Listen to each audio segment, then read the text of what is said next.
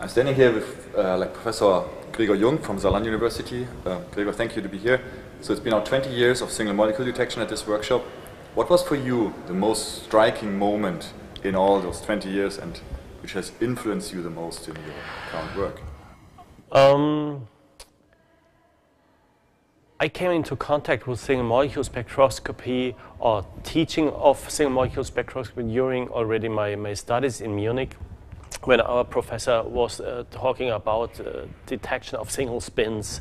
And uh, this was very fascinating for me that you can uh, detect single molecules which were thought as, as a theoretical construct uh, in a thousand or in the past 2000 years. So to see that it's possible to detect these uh, small entities uh, which are uh, which were consisting of this was the most fascinating point to me at that time.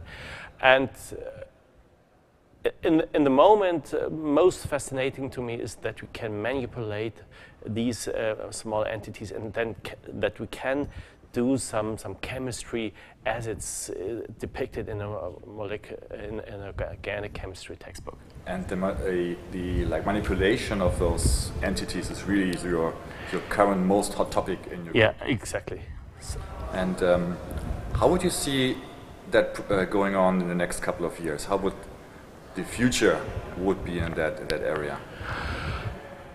I, I, could imagine that people uh, are trying now to, to investigate the reaction mechanisms that are found in the chemistry textbook just by looking on single molecules and to see how these molecules change their, uh, change their state and how chemical bonds are broken and, and reformed.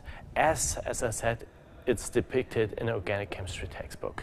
So would we see this technology in, let's say, 10 or another 20 years in very small compact units in hospitals and other facilities? Could you picture that? Uh, of course. Uh, I mean, uh, it's the ultimate limit of, of analytics that you can uh, detect really single molecules and that you can detect single virus particles, which would of course improve uh, the, the health of, of everybody in, in the world when you can be so sensitive.